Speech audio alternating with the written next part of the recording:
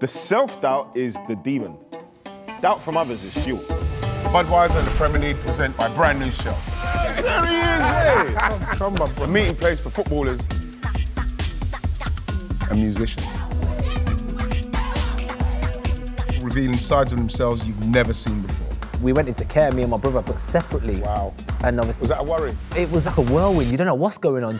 I would write the songs about what I was really going through.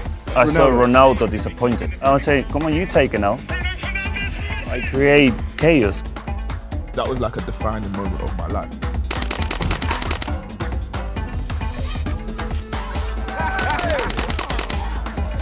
Tune! 91!